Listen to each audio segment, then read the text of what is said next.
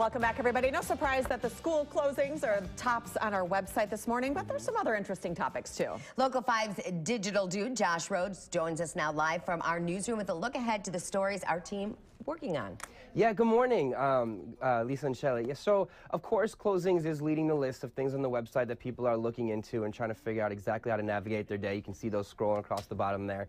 Um, but in addition to just those closings that are leading the way, um, we're actually going to go out and do a story on those closings to figure out, you know, how that's impacting all these kids. There's been quite a few closings and delays recently.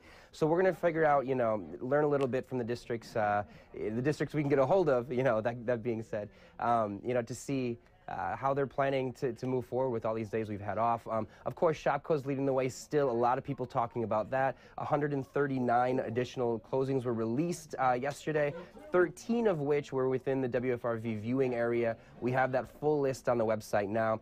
And there's also a story that's getting some traction this morning. Um, Wisconsin Republican legislative leaders are considering adding tolls to the state road. So you can check that out on the website right now. As Rookie said last night, school in July.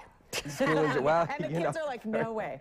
Um, also, Maybe. you know, um, quite often on our morning show on Local 5 this morning, Chief Andrew Smith of Green Bay Police comes on, has some discussions, very pertinent things that were discussed this morning. Yeah, this was a great interview this morning, a very wide-ranging conversation. So Chief Andrew Smith came in this morning to Local 5 this morning, and he said that they've decided to go back to the old Brown County dispatch system due to the problems with the new system. And we have uh, covered some of those problems pretty heavily in the last couple of weeks, so that is some new information we learned today.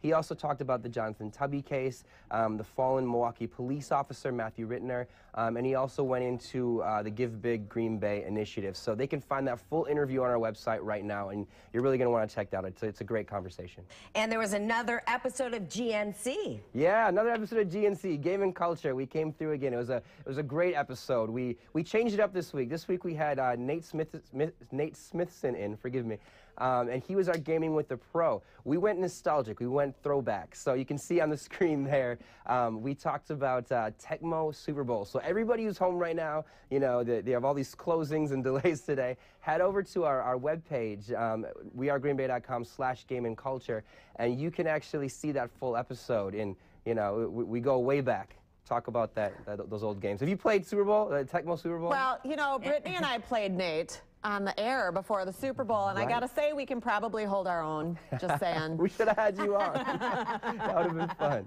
Well, I don't know if my game is probably not as big as my mouth. All right. Thanks, Josh. Thank you.